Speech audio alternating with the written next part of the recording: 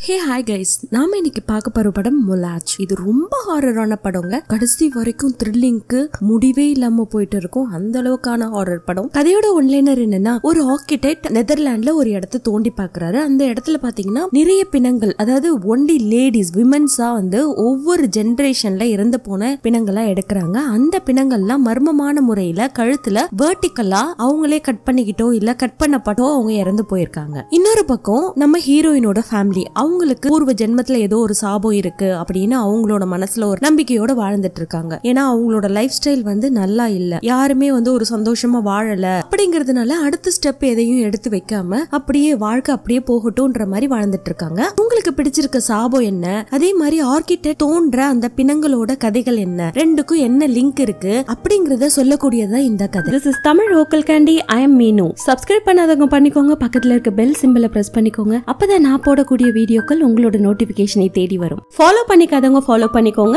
வாங்க கதைக்குள்ள போலாம். கதையோட ஸ்டார்டிங் சீன்ல நைன்டீன் நைன்டி ஒன்ல ஒரு அடர்ந்த காடு பனியால சூழ்ந்து இருக்கு அந்த காட்டுக்குள்ள ஒரு வீடு. அந்த வீட்டுக்குள்ள கிச்சனை காட்டுறாங்க. அதுல குழந்தை ஒண்ணு. ரொம்ப பப்ளியா அழகா உட்காந்துட்டு ஒரு எலிக்கு சாப்பாடு வச்சிட்டு இருக்கு அந்த எலி பொந்துல இருந்து எலியும் வெளியில வந்து அந்த சாப்பாடு சாப்பிடுது. இன்ட்ரெஸ்டிங்கா அந்த எலி கூட விளையாண்டுட்டு இருக்கும் போது மேல பார்த்தா தடதடன்னு ஏதோ சத்தம் கேக்குது. பயங்கரமான அமானுஷ்யமான வார்த்தைகள்லாம் மந்திரிக்கப்படுது. ஏதோ கத்துற மாதிரி சத்தம் கேக்குது. திடீர்னு அவ நிமிந்து பாக்குறா. அவ மேல அவ்வளவு டஸ்டா படுதுங்க. அந்த இடத்துல இருந்து அவ்வளோ ரத்தமா ஆறா பெருக்கெடுத்து அவ உட்காந்துருக்க இடத்துல அவ மேல சொட்டி அவ மேல ஊத்தி அந்த செவ்வரே நனைஞ்சு போகுது அது மட்டும் இல்லாம அங்க அந்த எலி வந்து சாப்பிட்டுச்சு இல்லைங்களா? அதுவும் இறந்து போய் அது உடம்புல இருக்க ஜீவனும் ரத்தமும் யாரோ உறிஞ்சு எடுக்கப்பட்ட மாதிரி அது மாதிரி ஆயிடுது. அப்படியே அவ உறைஞ்சு போய் அந்த இடத்துல உட்கார்ந்துட்டு இருக்கா. அங்க கட் பண்ணி ஒரு முப்பது வருஷத்துக்கு அப்புறமா அந்த பொண்ணு பெரிய பொண்ணா வளர்ந்துருக்கா. அவளுக்கு வந்து பாத்தீங்கன்னா ஒரு பாய் ஃப்ரெண்ட் அந்த பாய் ஃப்ரெண்ட் வந்து ஒரு போலீஸ் ஆபீசரா இருக்கான். கண்டினியூஸா அவளுக்கு போன் வருது. அந்த போனை கூட எடுக்காம ஏதோ வந்து அவ மியூசிக் எடிட்டிங் பண்ணிட்டு இருக்கா. பாரு கண்டினியூஸா உங்க வீட்ல இருந்து கால் வந்துட்டு இருக்கு. உங்க அம்மா கால் பண்றாங்க அப்படின்னு இவ ஆன்சர் பண்ணிட்டு டக்குன்னு கிளம்பி அவங்க வீட்டுக்கு போறா. வீட்டுக்கு போனோம்னா அவங்க அம்மா கேக்குறாங்க என்னம்மா ஒரு போனை கூட எடுக்க மாட்டியா? எங்க போன என்னாச்சு அப்படின்னு கேட்டோன்னே எதுவுமே சொல்லாம சும்மா வேலை ஒர்க் அதிகமா இருந்துச்சு அப்படின்னு சொல்லிடுறா. அவளுக்கு அழகான ஒரு பெண் குழந்தை இருக்கு. அவளோட பேரு ஹானா. ஆனா இவ ஹேன் அப்படின்னு தான் கூப்பிடுவா. வயசான அப்பா அம்மா கூட இவளும் இவளோட குழந்தையும் வாழ்ந்துட்டு வராங்க. இவங்களும் ஒரு ஃபாரஸ்ட் ஏரியால அதே வீட்ல தான் வாழ்ந்துட்டு வந்துட்டு இருக்காங்க. அந்த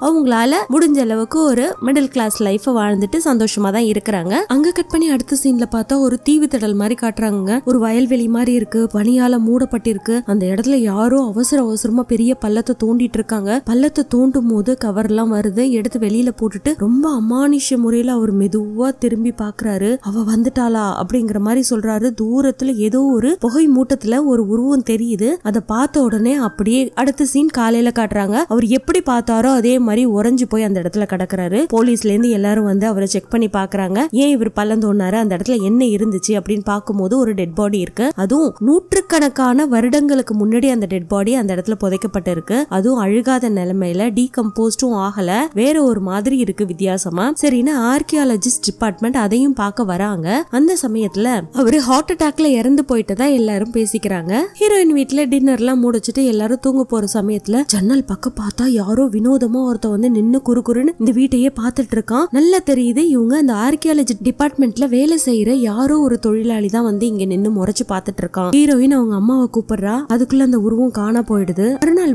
விடிஞ்சோடனே அந்த வயசான அவங்க அப்பா என்ன பண்றாரு? போய் ஆர்கியாலஜி டிபார்ட்மெண்ட்ல இருக்க ஹெட் கிட்ட என்ன நினைச்சிட்டு இருக்கீங்க? உங்க ஆளுங்கெல்லாம் எங்க வீட்டை வந்து எட்டி பாக்குறாங்க ஆகும்னு அவங்க பாஷையில பேச அவருக்கு ஒன்னும் புரியல. டிபார்ட்மெண்ட்ல ஜோன்ஸ்னு ஒரு ஹெட் ஒர்க் பண்ணிட்டு இருக்கான். அவங்க கிட்ட போயிட்டு இந்த தாத்தா கத்திட்டு இருக்கும்போது ஹீரோயின் போய் கன்வீன்சிங்கா பேசிட்டு வந்துடுறா. அடுத்த சீன்ல அவங்க அம்மாவுக்கு கொஞ்சம் உடம்பு சரியில்லாம இருக்குங்க. திடீர் திடீர்னு ஃபிட்ஸ் மாதிரி தூங்கும் போதே இழுத்துட்டு இருக்கும். ரெண்டு பேரும் வயசானவங்க இல்லையா? ரெண்டு பேரும் இவ பாத்துக்கிட்டு ஹாஸ்பிட்டல் எல்லாம் கூப்பிட்டுட்டு போய் கேர் எல்லாம் பண்ணிட்டு இருப்பா. அந்த சமயத்துல அந்த குட்டி குழந்தை அவங்க தாத்தா கூட அந்த கார்டன்ல விளையாண்டுட்டு இருக்கோம் அந்த தாத்தா என்ன பண்ணுவாரு? ஒரு கேமராவை ஃபிக்ஸ் பண்ணுவாரு. யாராவது நம்ம கார்டனுக்குள்ள அத்துமீறி நுழைஞ்சு வந்தாங்கன்னா அது போட்டோ எடுக்கும் அப்படின்ற மாதிரி ஃபிக்ஸ் பண்ணிட்டு இருக்காரு அன்னைக்கு டின்னர் சாப்பிட்டுட்டு அவ வந்து ஒரு மியூசிக் டீச்சரா ஒரு ஸ்கூல்ல ஒர்க் பண்ணிட்டு இருப்பாங்க சோ அவ வந்து மியூசிக் கம்போஸ் பண்ணிட்டு இருப்பா வயலின்ல மியூசிக் வாசிச்சு அதை ரெக்கார்ட் பண்ணி பண்ணிட்டு இருக்க சமயத்துல டக்கு டக்குன்னு சத்தம் கேக்குது. பார்த்தா அவங்க அம்மா வந்து நிக்கிறாங்க. மியூசிக்லாம் ரெக்கார்ட் பண்ணும்போது கதவை சாத்திட்டு பண்ணாத கதவை தட்டுற மாதிரி இருக்குல்ல சாரி டிஸ்டர்ப் பண்ணதுக்கு. ஃபர்ஸ்ட் ஆஃப் ஆல் நீ என்னை பத்தி ரொம்ப ஃபீல் பண்றதை விட்டுடு.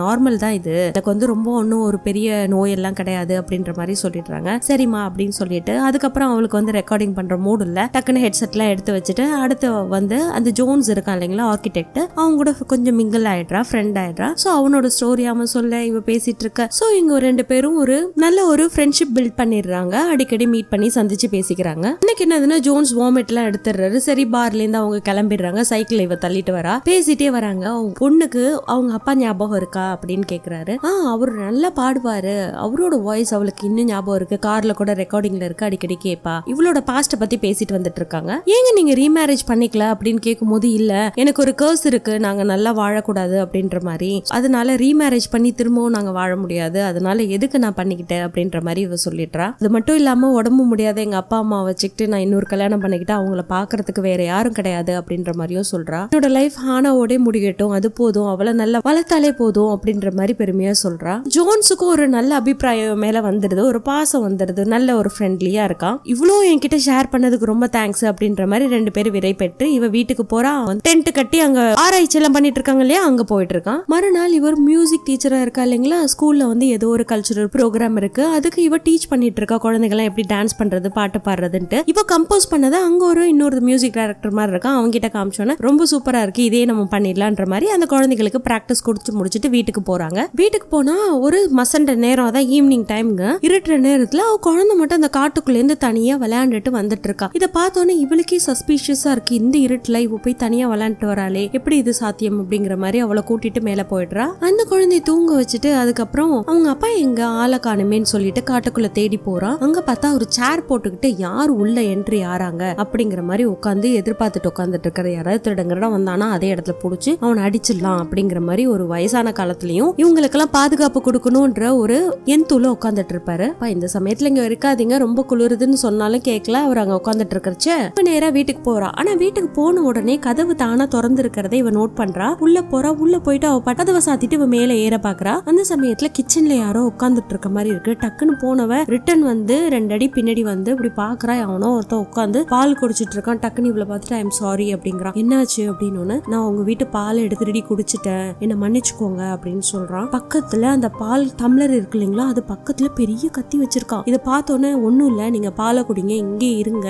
அப்படின்னு ரொம்ப பதட்டத்தோடயே இவ மேல ஏறி போறா. இருங்க நான் ரெண்டு நிமிஷத்துல வந்துடுறேன் அப்படின்ற மாதிரி மேல ஏறிட்டு கடகடன்னு போயிட்டு அவங்க அம்மா கிட்ட சொல்றான் அம்மா கீழே யாரோ கிச்சன்ல இருக்காங்க பாலை குடிச்சிட்டு இருக்காங்க. யாருன்னே தெரியல அப்படின்னு சொல்லி திரும்பி பாக்குறா டக்குன்னு அவன் பின்னாடி வந்து நிக்கிறான். ஐம் சாரி இத அவங்க என்ன செய்ய சொன்னாங்க அப்படிங்கிற மாதிரி கிட்டக்க ரெண்டு பேரையும் கொலை பண்றதுக்கு வரான். இல்ல இவனுக்கு அமானுஷமா ஏதோ ஒண்ணு நடந்துட்டு இருக்கு. இவன் நேச்சுரலாகவே இல்லை. ஏதோ ஒன்று தூண்டப்பட்டு இவன் கொலை பண்ணுறான்றது நல்லா தெரியுது. என்ன சத்தம் கேட்குதுன்னு குழந்தை எந்திரிச்சு வந்துடுறா. டக்குன்னு ஹேனா அப்படின்னு சொல்லிட்டு ஹீரோயின் அவளை கூட்டிட்டு போய் படுக்க வைக்கிறதுக்கு போகிறான் ஏன்னா குழந்தை இதெல்லாம் பார்க்க கூடாதுன்னு அவன் ஃபீல் பண்றான் இல்லை இந்த திருடன் என்ன பண்றான்? அப்படியே அவங்க பாட்டியே கொலை பண்ண வரான். அந்த பாட்டி எவ்வளவோ தடுக்கிறாங்க. அந்த கத்தி எடுத்துட்டு வந்து நேரா அவங்க வாயில அப்படியே குத்த வர சமயத்துல டக்குன்னு அந்த கொலக்காரனோட தலையிலேருந்து ரத்தமா கொட்டுது. பின்னாடி பார்த்தா வேற யாரும் இல்லைங்க. நம்ம தாத்தா நல்லா அடிச்சிடுறாரு. அதே இடம் மூளை வெளியில வந்து இறந்து போயிடும். அந்த சம்பவத்தை பொண்ணும் பார்த்துடுறா மறுநாள் போலீஸ் டிபார்ட்மெண்ட்ல இருந்து அந்த பொண்ணத்தை எடுத்துட்டு போறாங்க. இவங்க எக்ஸ்பிளனேஷன் கொடுக்குறாங்க. அத்துமீறி ஒருத்தன் வந்து எங்களை கொலை பண்ண வந்தான். இது அடிக்கடி நடந்துட்டு இருக்கு அப்படின்ற மாதிரி போலீஸ்க்கும் தெரியும் போல இருக்கு. ஸோ அவங்க ஸ்டேட்மெண்ட் மட்டும் என்னென்ன நடந்துச்சோ அதெல்லாம் கொடுத்துட்டு அங்கேருந்து கிளம்புறாங்க. அது மட்டும் இல்ல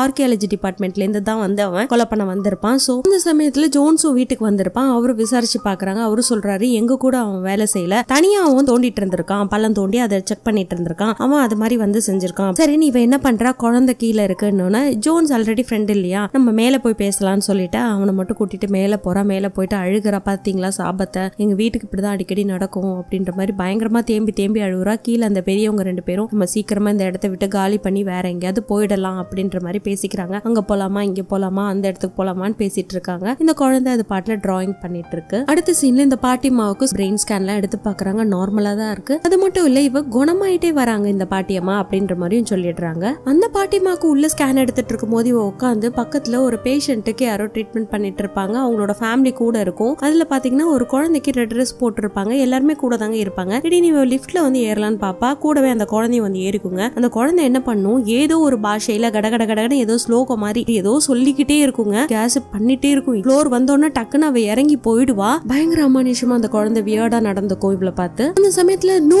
அமிர்த்னு ஒரு வார்த்தை சொல்லும். அது என்னன்னு சொல்லிட்டு இவ ப்ரௌஸ் பண்ணி பார்த்துட்டு இருப்போம் மொபைல்ல அவங்க அம்மாவுக்கு ஸ்கேன் எடுத்து முடிச்சுட்டு அவங்க வந்து உட்காந்து நான் சொல்றது உனக்கு கேட்கலையா அப்படிங்கிற மாதிரி சொல்லுவாங்க. இவ அந்த ப்ரௌசிங்லேயே கொஞ்சம் இன்ட்ரெஸ்டாக இருந்துட்டு இருப்பா. அப்போ எனக்கு உடம்பு முடியல சீக்கிரமா வீட்டுக்கு போய் நீ என்ன சர்ச் பண்ணிட்டு இருக்க? அப்படின்ற மாதிரி அவங்க அம்மா சொல்றாங்க. இருந்தாலும் அவ சர்ச் பண்ணி அதை பார்க்கும்போது ஷீ நெவர் டைஸ் அப்படின்ற மாதிரி ஒரு வார்த்தை வருது. அதை பார்த்தோன்னே இவளுக்கு ஷாக்கா இருக்கு. என்ன அர்த்தம்? இந்த குழந்தை இந்த வார்த்தையை தானே சொன்னுச்சு. யார் இறந்து போகல? அப்படின்ற மாதிரி இவளுக்கு ஒரு டவுட் வருது. டக்குன்னு வண்டி ஓட்டிட்டு வீட்டுக்கு போறா. இந்த சீன்ல இவ ஜோன்ஸ் எங்கேயும் மீட் பண்ற மாதிரி அதே பார்ல மீட் பண்ணிட்டு இருக்கா. அப்பா வேற சொல்றா. அங்க பாரு ஒரு ஓல்ட் மேன் உட்காந்துட்டு இருக்காருல. அவர் தான் ரீசெண்டா இறந்து போனோம். ஒரு ஒரு இடத்துல தோண்டும் போது ஹார்ட் அட்டாக்ல ஒரு பையன் இறந்துட்டான் இல்லைங்களா? ஒரு ஆளு. அந்த பையனோட அப்பா இவர் தான் அப்படின்னு சரி உங்க நீங்க தோன்ற இடத்துல என்ன இருக்கு? என்ன தோண்டி பாக்குறீங்க? அப்படின்னு ஒன்றும் இல்லை. நாங்க தோண்டி எடுத்தது நிறைய லேடிஸை அது மட்டும் இல்லாம அவங்களாம் ஒரு நூறு வருஷம் பழமையான டெட் பாடிஸ் அப்படிங்கிற மாதிரி சொல்றாரு. என்ன அர்த்தம் அதுல இருக்கு? அப்படின்ற மாதிரி இவளும் கேக்குறா. சரி வாங்க. அந்த வயசானவர் இருக்காரு. ஊர்லயே அவர் ரொம்ப வந்து வயசானவர். என்ன நடந்துச்சுன்னு ஏதாவது சம்பவம் நடந்துச்சான்னு கேட்டு பார்க்கலான்னு அவரை போய் விசாரிக்கிறாங்க. அவர் ஒரு தகவலும் உருப்படியா கொடுக்க மாட்டாரு ஒரு விசிட்டிங் கார்டை மட்டும் கொடுத்துட்டு நீ வந்து என்ன மீட் பண்ணு என்ன வேவ் பாக்குறீங்களா அப்படின்ற மாதிரி சொல்லிட்டு அவர் கிளம்பி போயிடுறாரு. அடுத்த சீன்ல இவர் ரொம்ப போதையாயிடுறா. அதனால வந்துட்டு அத்துமீறி என்ன பண்றா? இவன் கிட்ட பேசிட்டு இருக்கும் போதே இறங்கி காரை விட்டு ஓட ஆரம்பிக்கிறா. அப்புறம் கொஞ்சம் தூரம் போனோன்னு ரொம்ப நட்பு வந்து காதலா மாறிடுது இவங்களுக்குள்ள. அடுத்த சீன்ல இவங்க ஆராய்ச்சி பண்ற ஆராய்ச்சி கூடத்துல அங்க இருக்க டெட் பாடிஸ் எல்லாம் நோட்டமிடுறான் ஜோன்ஸ் பார்த்துட்டே வரும்போது எல்லா பாடிஸும் வேர்டிக்கலா த்ரோட்ல கட் ஆயிருக்கு. எத்தனை பாடிஸ் இருக்குன்னா மூணு ஒரு ஃபைவ் இருக்கும் அப்படின்னு அங்க ஒரு லேடி அசிஸ்டன்ட் லேடி சொல்றா. பக்கத்துலயே ஒரு ஆள் நின்றுட்டு இருக்கான் கண்ணாடி போட்டுட்டு ரெட் குல்லா போட்டுட்டு. அந்த இடத்துல அவன் நின்றுட்டு இருக்கும் போது அவனுக்கு ஒரு மாதிரி குளிர்ற மாதிரி ஆகுது. நீ போய் கொஞ்சம் கத கதப்பா எங்கேயாவது சூடு இருந்ததுன்னா அங்க குளிர் காஞ்சுக்கோ அப்படின்னு அவ சொல்றா. சரி நீ ஒரு நிமிஷம் இங்க வா நம்ம பேசலாம் அப்படின்னு சொல்லிட்டு அந்த அசிஸ்டண்ட கூப்பிடுறான் ஜோன்ஸ். இங்க தாத்தாக்கு ஃபிக்ஸ் பண்ணாரு இல்லைங்களா கேமரா அது பக்கத்துல ஃபிளிக்கர் ஆகுது. அப்ப யாரோ பாஸ் பண்ணி போறாங்க. அதனால அது டக்கு டக்கு டக்கு டக்குன்னு போட்டோ எடுத்துட்டு இருக்கு அதே சமயம் ஹீரோயின் மாடியில இருக்காங்க. அவ ஜன்னல் வழியா பாக்குறான் ஏதோ ஒரு உருவம் கிட்டக்க நெருங்கி வரா மாதிரி இருக்கு. தொடச்சிட்டு பாக்குறா. பின்னாடி பார்த்தா அவங்க அம்மா வந்து நிக்கிறாங்க.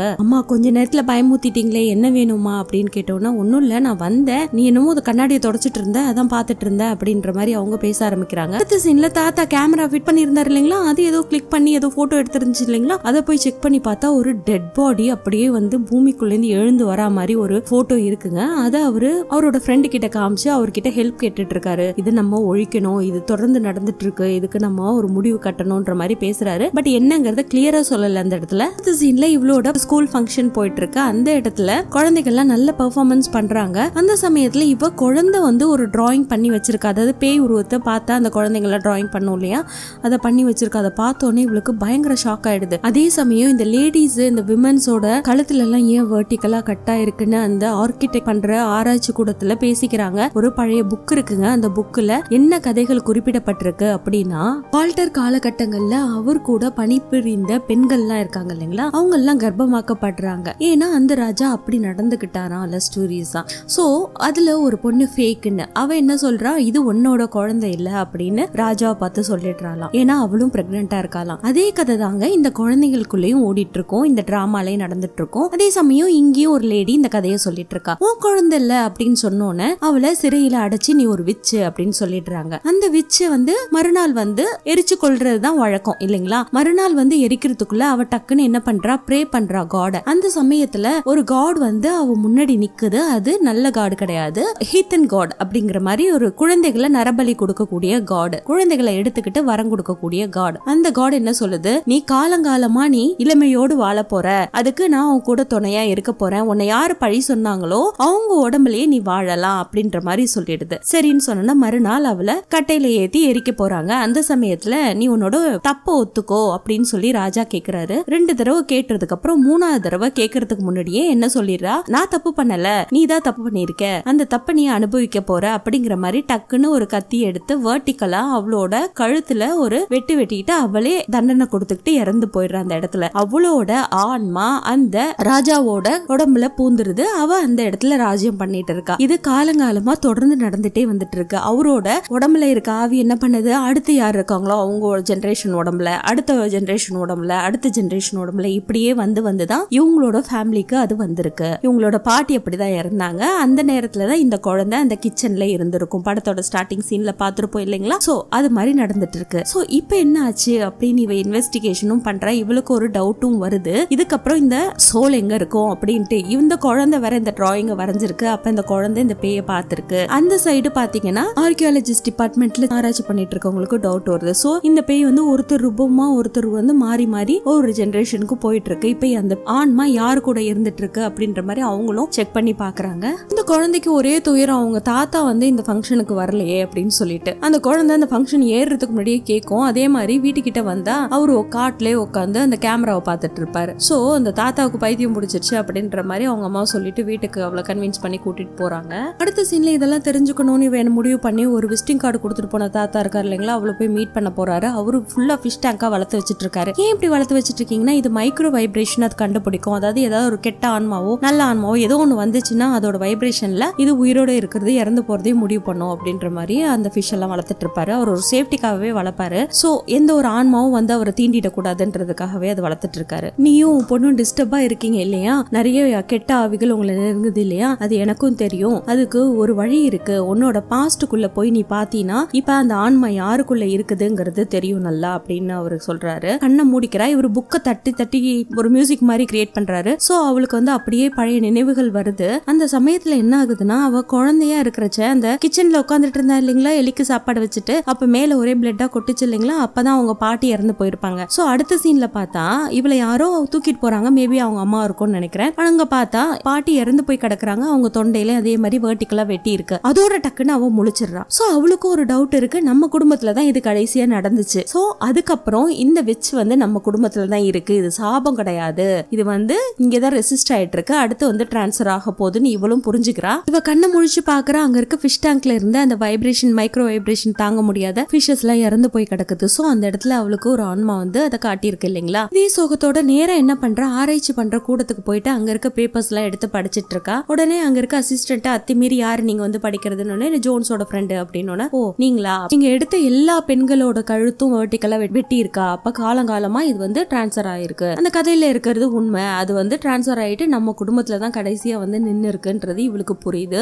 அடுத்த சீன்ல என்ன ஆகுதுன்னா தாத்தா கேமரா வச்சது மட்டும் இல்லாம பெல் எல்லாம் கட்டி வச்சிருப்பாருங்க. சோ அந்த பெல்ல கிராஸ் பண்ணி யாரோ வர மாதிரி இருக்கு. வேற யாரும் கிடையாது. இந்த ஆர்கியாலஜி டிபார்ட்மெண்ட்ல ஒருத்த கண்ணாடி போட்டவனுக்கு குளிரும் இல்லைங்களா? அவன் தான் வந்துட்டு இருப்பான் அவன் நேரா வந்து இவங்களோட வீட்டுக்கு அத்து மீறி நுழையறதுக்கு ட்ரை பண்றான். அதை பார்த்து தாத்தா டக்குன்னு அவனை அடிச்சு அதே இடத்துல கொலை பண்ணிடுறாரு. பட் என்ன ஒரு ஆச்சரியம்னா அவரு அவனை கொலை பண்ணி முடிச்சோன்னே அவரால் அங்கேருந்து மூவ் பண்ண முடியல. ஒரே ஃபாகா சூழ்ந்துக்குது. சுத்தி சுத்தி சுத்தி ஒரே குரலா கேக்குது. அது மட்டும் இல்ல அவர் நின்னுட்டு இருக்காரு ஏதோ அந்த சலங்க சத்தம் அங்கேயும் இங்கேயும் கேட்டுட்டு இருக்கு ஏன்னா கயிறு அங்கேயும் இங்கேயும் கட்டி வச்சிருக்காரு இல்லைங்களா? இவர் கண்ணுக்கு எதுவும் தெரியல. கொஞ்ச நேரத்துல பார்த்தா அங்க இறந்து போன பெண்களோட மொத்த ஆன்மாக்களும் வந்து அப்படியே நிக்குது. அப்படி நிக்கும் போது இவரோட ஒய்ஃபோட ஆன்மா ஃப்ரண்ட்ல வந்து நிக்குது. அப்ப என்ன அர்த்தம்னா கடைசியா அந்த ஈவிலோட ஸ்பிரிட் வந்து இவரோட ஒய்ஃபோட உடம்புல இருக்க மாதிரி அவருக்கு தெரியுது. அடுத்த சமயத்துல இவரு ஒரு ஒரு மாதிரி பேய் பிடிச்ச மாதிரி அப்படியே டக்குன்னு வீட்டை நோக்கி படு வேகமா போறாரு. போய் கதவு கிட்ட நின்னு வீட்டையே முறைச்சு பார்த்துட்டு இருக்காரு. அதை அந்த குழந்தை நோட் பண்ணிடுது. டக்குன்னு அவங்க அம்மாவை கூப்பிட்டு அம்மா தாத்தா ஒரு மாதிரி முறைச்சு பார்த்துட்டு இருக்காரு அப்படின்னு இவங்க கிட்டக்க வந்து பாக்குறாங்க அவர் அப்படியே முறைச்சு பார்த்துட்டு இருந்தோன்னே நீ மேல போயிடு பாப்பா அப்படின்னு சொன்னோன்னே அந்த குழந்தை மேல போக பாக்குது டக்குன்னு இவர் என்ன பண்றாரு அந்த கதவுல கண்ணாடி இருக்கும். அதை உடைச்சிட்டு கதவை திறக்க பாக்குறாரு சாவிய. அந்த பாட்டிமாவும் இவங்களும் என்ன பண்றாங்க அந்த சாவியை எடுத்துடுறாங்க. இன்னொரு கதவு திறந்துருக்குமே அதை போய் க்ளோஸ் பண்ணலாம் அப்படின்னு டக்குன்னு பின்னாடி இருக்கிற கதவெல்லாம் போய் க்ளோஸ் பண்றாங்க. எப்படியோ ஒரு என்ட்ரி ஆகி பாட்டிமாவோட தலையை பிடிச்சி இழுக்கிற மாதிரி காட்டுறாங்க. அடுத்து இவ என்ன பண்றா? குழந்தை இதெல்லாம் பார்க்க கூடாதுன்னு குழந்தை தூக்கி மேல போயிடுறா. திரும்பி வந்து பார்த்தா இந்த பாட்டியை போட்டு ரொம்ப கொடுமைப்படுத்திட்டு இருக்கிற தாத்தா கொலை பண்ற அளவுக்கு போறாரு. ஒரு பெரிய இரும்பு கரண்டி எடுப்பாவோட தலையிலே அடிச்சிடுறா. அடிச்சோன்னு அதே இடத்துல அவர் மயக்கம் போட்டு விழுந்துடுறாரு. அதே சமயத்துல இங்க ஊர் திருவிழா நடந்துட்டு இருக்குங்க. ஊர் திருவிழால பார்த்தா இதே கதை தான் ஓடிட்டு இருக்கு. அந்த உருவ பொம்மைக்கு அங்க இருக்கவங்க எல்லாம் ஒரு வேடம் மாறி போட்டு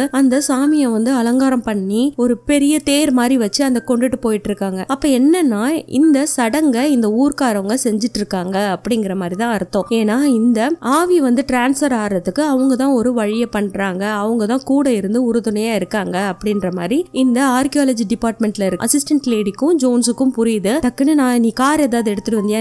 இல்லைன்னு நான் நடந்தே போய்க்கிறேன்னு சொல்லிட்டு நடந்தே அவன் ஓடி வரான். ஏன்னா இவனுக்கு நல்லா தெரிஞ்சு போச்சு. இந்த ஆன்மா வந்து இவங்க வீட்டில் தான் முடிஞ்சிருக்கு. பாட்டி கிட்ட முடிஞ்சிச்சுன்னா அவங்க வீட்டில் தான் யார்கிட்டயோ இருக்கு. ஸோ அந்த ஃபெஸ்டிவல் எப்போ நடக்குதோ அன்னைக்கு தான் வந்து டிரான்ஸ்ஃபர் ஆகுது. ஸோ என்ன பண்றான்? இவன் குடுகுடுன்னு ஓடி வரான் வீட்டுக்கு. அது அடர்ந்த காடு இல்லைங்களா? அவன் வரத்துக்குள்ள வீட்டுக்குள்ள என்ன நடக்குதுன்னா இந்த பக்கம். மயக்கம் போட்டிருந்தா அவங்க அம்மாவை காணும். எங்க அம்மா அப்படின்னு சொல்லிட்டு கிச்சனை நோக்கி ஓடுறா. அங்க பார்த்தா அவங்க அம்மா கண்ணு ரெண்டும் வெள்ளையா மாறி அப்படியே ஒரு பேய் உருவமா இவ்வளவு லுக் பண்ணுது. அதுக்குள்ள அவங்க அப்பாவுக்கு நினைவு திரும்பிடுதுங்க. டக்குன்னு அவர் எழுந்து மேல வராரு. ஸ்டெப்ஸ் ஏறி வர அவங்க அப்பா கழுத்துல ஒரு கயிறை மாட்டி அவரை தொங்க விட்டுறது தன்னோட ஹஸ்பண்டையே அந்த பேய். இந்த பக்கம் ஜோன்ஸ் இவ்வளவு பாக்குறதுக்காக ஓடி வந்துட்டு இருந்தா இல்லைங்களா? அந்த பெல் எல்லாம் கட்டி இருக்கு அந்த இடத்துல இந்த கரடிக்கெல்லாம் வைக்கிற பொரிய வச்சிருக்காரு. அதுலயே அவன் கால் மாட்டி அந்த இடத்துல அவன் கதறிட்டு இருக்கான் எடுக்க முடியாம. எப்படியோ ட்ரை பண்ணி எடுத்துட்டு இருக்கான். அந்த பக்கம் வீட்டுல பார்த்தா இவளுக்கு ஒரு பழைய வெள்ளை துணியை போட்டு அப்படியே பெட்ல படுக்க வச்சு கையை ரெண்டுத்தையும் கட்டி போட்டிருக்காங்க. எதிர்த்தாப்புல பார்த்தா இந்த ஊர் மக்கள்லாம் சடங்கு பண்ணிட்டு ரோட்ல ஊர்வலம் போயிட்டு இருந்தாங்கல்ல அதுல அந்த கரடி மூஞ்சி பொம்மை எல்லாம் வச்சு மாஸ்க் மாதிரி போட்டுட்டு இருப்பாங்க. அதுல இந்த பக்கம் ஒரு நாலு பேர் இந்த பக்கம் ஒரு நாலு பேர் நின்றுட்டு இருக்காங்க. நடுவுல அவங்க அம்மா பேய் ரூபத்துல நின்றுட்டு இருக்காங்க. கொஞ்ச நேரம் தான் குழந்தை. என்ன மன்னிச்சிடு. நம்ம தான் இந்த சடங்கை செஞ்சாகணும் நீ வழி பொறுத்துக்கோ. உனக்கு இதுக்கப்புறம் வந்து கடவுள் துணையா இருப்பாரு அப்படிங்கிற மாதிரி சொல்லிட்டு அந்த அம்மா என்ன பண்ணுது? ஒரு பிளேட் எடுத்து அவங்களோட க- கழுத்திலே வேர்ட்டிக்கலா வெட்டிட்டு அதே இடத்துல இறந்து போயிடுறாங்க. கொஞ்ச நேரத்துல பார்த்தா அதே இடத்துல இருந்து ஒரு பேய் உருவம் எந்திரிக்குதுங்க. அப்படியே எந்திரிச்சு அவ கிட்டக்க வந்து அப்படியே அவ உடம்புல அந்த ஆவி நுழைஞ்சிடுது. அடுத்த சீன்ல ஜோன்ஸ் அந்த காலை விடுபட்டுட்டு அங்கேருந்து ஓடி வந்து வீட்டுல பாக்குறாரு. அவங்க அப்பா தூக்குல தொங்கிட்டு இருக்காங்க. மாடியில அவங்க அம்மாவுக்கு வேர்ட்டிக்கலா வெட்டப்பட்டு இறந்து போய் கிடக்குறாங்க. பெட்ல இவ்வளவு கட்டி போடப்பட்டிருக்கு. இந்த நிலைமையில இவர் கிட்டக்க வந்து பாக்குறாரு. என்னோட பேரு வந்து பெட் பெட்ரிக் பெட்ரிக் பெட்ரிக்னு எழுப்புறாரு. அந்த சமயத்துல என்னாச்சு அப்படின்னு கேக்குறாரு. ஹேனா எங்க ஹேனா எங்கன்னு இவ கேக்குறா. ஏன்னா இந்த சம்பவம் நடக்கிறதுக்கு முன்னாடி இவ போய் ஹேனாவை கிச்சனுக்குள்ள மூடி வச்சுட்டு வந்துருவா. இவ எப்படி குழந்தையா இருக்கும்போது கிச்சன்ல இருந்தாலோ அதே மாதிரி அந்த குழந்தை இந்த சமயத்துல வந்து கிச்சன்ல இருந்திருக்குங்க. அவளை அங்கிருந்து ரெஸ்கியூ பண்ணிட்டு அடுத்த சீன்ல ஒரு கேபிட்டீரியால காட்டுறாங்க. இங்க பாரு உனக்கு இனிமே யாரும் கிடையாது. எனக்கு எங்க ஊர்ல பெரிய கெஸ்ட் ஹவுஸ் இருக்கு. நீ அங்க வந்து தங்கிடு. நீ உன்னோட லைஃபையும் ஹேனாவையும் சேஃப்டியா பாத்துக்கலாம் அப்படின்னு சொன்னோன்னே இல்ல இங்கதான் பழக்கப்பட்டவங்க எல்லாம் இருக்காங்க.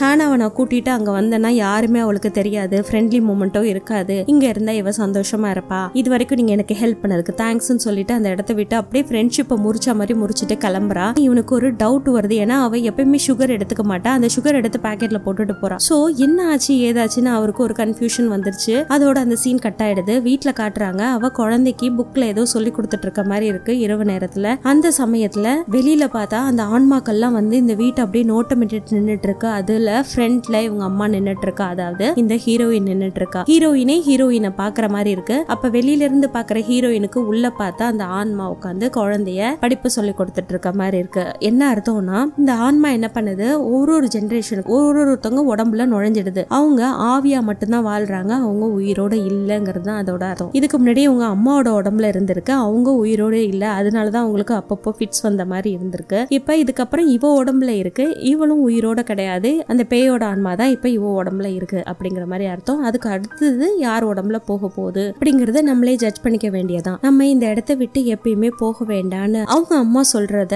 அந்த குழந்தை கேக்குது. இதே ஹீரோயின் வெளியில இருந்து பார்த்துட்டு இருக்கா. ஹீரோயின் மட்டும் கொஞ்சம் யோசிச்சிருந்தானா அவங்க அப்பா வந்து அவங்க அம்மாவை கொலை பண்ண வந்தாங்க இல்லையா? அவருக்கு உண்மை தெரிஞ்சுதான் கொலை பண்ண வந்தாங்க. அதுக்கு முன்னாடி ரெண்டு பேர் கொலை பண்ண வந்திருப்பாங்க இல்லையா? அத்துமீறி வீட்டுக்குள்ள நுழைஞ்சு. அவங்க கூட இந்த நல்ல ஆன்மாக்கள் சொல்லி தான் வந்திருப்பாங்க. இந்த நல்ல ஆன்மாக்கள் யாருன்னா அந்த ராஜாவோட பரம்பரையை சேர்ந்தவங்க மொத்த பேரும். இந்த குடும்பமும் அவங்க பரம்பரையை சேர்ந்தவங்க தான். ஹீரோயினும் பாதிக்கப்பட்டுட்டா. அவ வெளியில இருந்து கண்ணீர் வெட்டுறா. அதோட இந்த படம் முடியுதுங்க. This is Tamil vocal candy ஐ மீனு தேங்க்யூ ஃபார் வாட்சிங்